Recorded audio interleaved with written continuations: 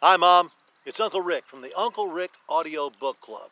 Now, I don't have to tell you that kids need worthy heroes. Today, so many children pick the wrong people to admire.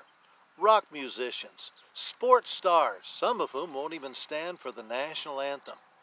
Kids need real life heroes who will inspire them, who will challenge them to their highest and best rather than accommodating them at their lowest and least.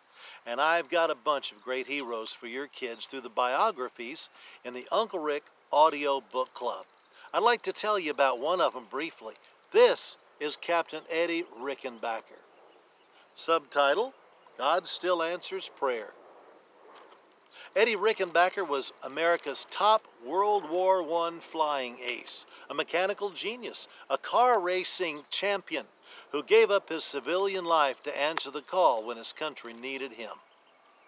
Twenty years later, helping America prepare for another world war, he went down in an airplane on the Pacific and he and his friends spent 21 agonizing days on a life raft.